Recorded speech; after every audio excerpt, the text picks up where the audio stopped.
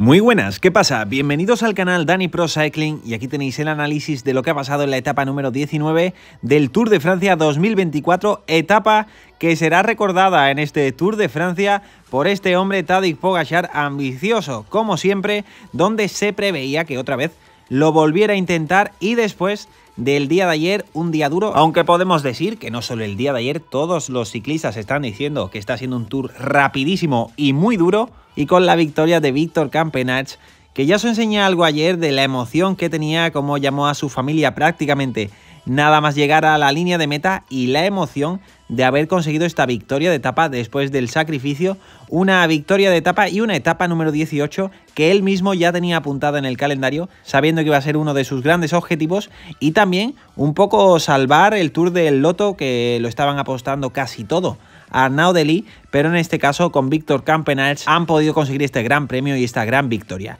Y aprovechar los descuentos de Siroco, 10% de descuento en toda la tienda con nuestro link, que lo tienes abajo en el primer comentario y en la descripción del vídeo. Y aprovecha los nuevos productos que tienen, ahora al final del vídeo te cuento un poco más. Aquí la etapa de hoy, si os fijáis, 145 kilómetros, principio plano y tres subidas y nos fijamos en el final, en la subida a Isola 2000, que tenía bastante dureza y sobre todo no solo la dureza, sino los varios puertos que iban a ser a más de 2.000 metros. Preparados para la batalla los líderes de la general con el campeón también de la etapa de ayer y veíamos también esa posible lucha entre Vingegaard y Pogachar que la esperábamos también en el día de hoy. Comenzaba la etapa, parecía que iba a tardar en formarse la fuga, pero para nuestra sorpresa se formaba un grupo de más de 30 corredores muy rápido y esto hacía que Lief se pusiera a trabajar ya que Richard Carapaz quería esos puntos de la montaña. Llegábamos al sprint intermedio antes de la primera subida ir a Cocuar. El que pasaba en primer lugar, Girmay, estaba por detrás, no veía peligrar ese maillot verde y tenía que atacar nada más comenzar el puerto Richard Carapaz después de mucha velocidad en esos primeros kilómetros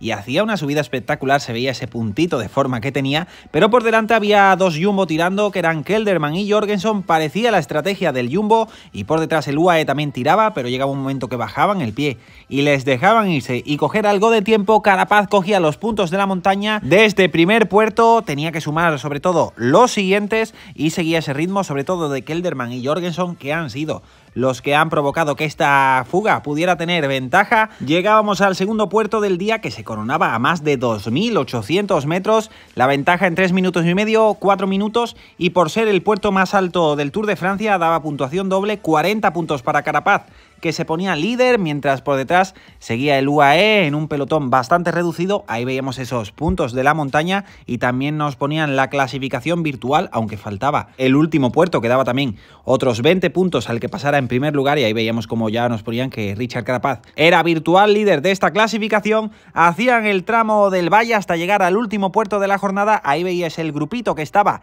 para afrontar esa subida y desde el principio Kelderman le ponía ritmo a Jorgensen y hacían sufrir tanto a Carapaz, Simon Yates o Hilley, que parecía que aguantaba, y por detrás también ritmo fuerte del UAE, que parecía que no quería dejar la etapa, se quedaba Hilley definitivamente en el grupo de fugados y atacaba a Jorgensen. Poco después, unos 10 kilómetros para el final, y era Carapaz el que parecía que se ponía a meter ritmo para darle caza, se quedaba también definitivamente Kelderman y Simon Yates. Seguía intentando aguantar este ritmo que imponía a Carapaz, pero que ya había perdido unos 25 segundos, con Mateo Jorgensen que se iba en solitario, pero también atacaba por detrás, Tadej Pogachar sentado 9 kilómetros para el final. Renko Benepul saltaba, pero Vingegaard no hacía ni el intento de saltar, simplemente se cogía la rueda de Benepul y se iba con una facilidad pasmosa. Tadej Pogachar con un ritmo espectacular y veíamos que por detrás lo que quedaba era meter ritmo, jugarse el podio. Ahí veíamos como Landa y Almeida también llegaban a donde Renko Ebenepul a ponerle ese ritmo a Ebenepul y Ebenepul decidía atacar también para ver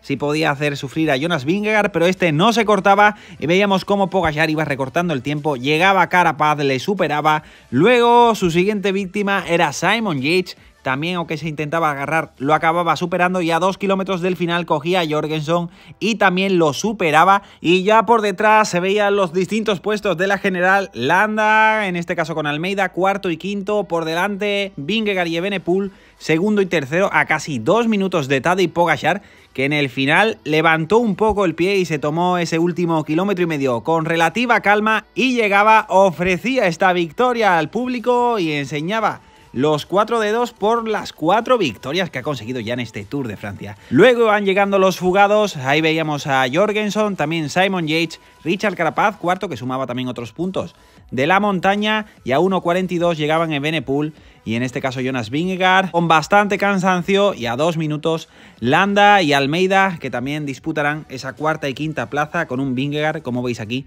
totalmente destrozado con su mujer que se le está haciendo larga la tercera semana como es normal después de la caída que tuvo en la Exulia y como hemos dicho victoria para Tadej Pogacar con unas diferencias totalmente espectaculares que hacía años que no se veían en el Tour de Francia. Y ahí veíamos ya también a Benepool cómo llegaba para hacer rodillo y cómo se felicitaban entre ambos. Analizamos las clasificaciones, primero el top 10 de la etapa con Pogachar, después Jorgensen, Simon Yates, Carapaz, Ebenepool, Vingegaard, Almeida, Landa, Kelderman. Y G. Clasificación general que ahora queda así con Pogachar 5-0-3 Vingegaard, Ebenepool tercero 7-0-1 y fijaos a cuánto está el cuarto Almeida. A 15-0-7, Landa 15-34, Rodríguez 17-36, Yates 19-18, G que ha superado una posición 21-52, Jorgensen 5 posiciones hacia arriba 22-43 y décimo se mantiene Chicone a 22-46. Aquí el resto del top 20 por si le queréis echar un vistazo. Clasificación de los puntos para Girmay, seguido de Philipsen, lo tiene prácticamente sentenciado este maillot verde. Clasificación de la montaña ahora para Carapaz,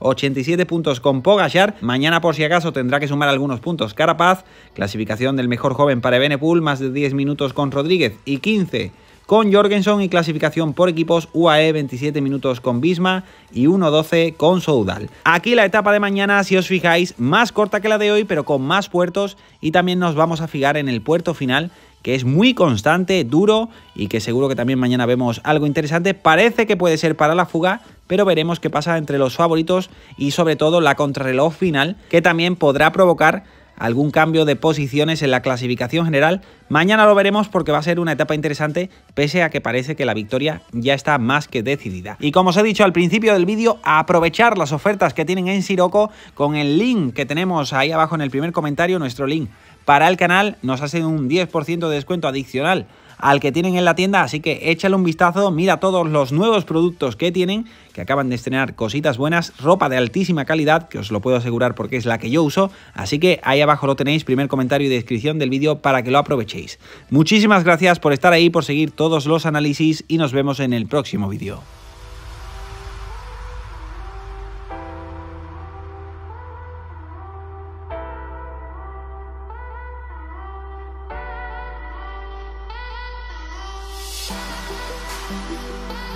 Bye.